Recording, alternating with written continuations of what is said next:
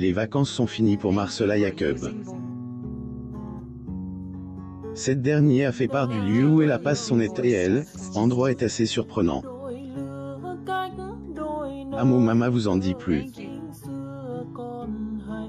Degré les grosses têtes, plus ou moins sont de retour.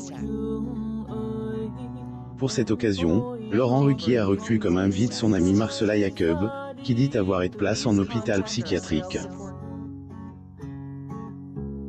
Découvrez ces Revelations le lundi 23 août 2021, les auditeurs ont sûrement été nombreux à écouter, degré les grosses têtes, plus ou moins. Pour la rentrée de L, émission, Laurent Ruquier et toute son équipe sont apparus très joyeux, comme à leur habitude.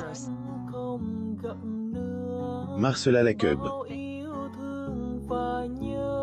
Photo. J'ai image au cours de ce nouveau numéro, chaque personne présente sur le plateau a évoqué leurs vacances et ce sont ceux de Marcela Jacob qui les ont le plus intéressent.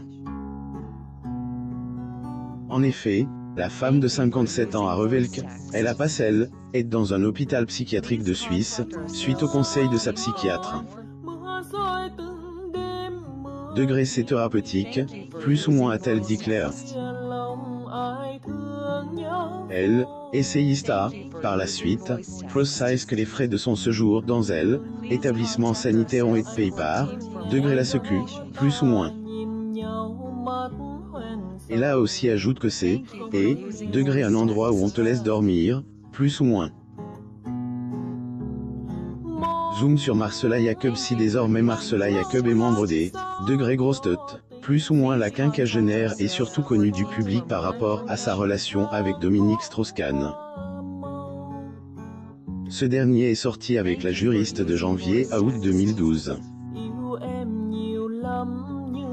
Leur idylle est pas très bien terminée puisque quelques mois après leur separation, Marcela a sorti le livre, Degré Belle et Bite, plus ou moins dans lequel elle a qualifié elle, homme politique. Face à cela, le principal concerne à de elle, ouvrage des degrés abominables, plus ou moins et avoue être de goût du degré comportement d'une femme qui se dut pour écrire un livre, Loana en hôpital psychiatrique il y a quelques mois, Loana, la lecteuse, a été place en hôpital psychiatrique à la suite des un coma dû à une intoxication médicamenteuse.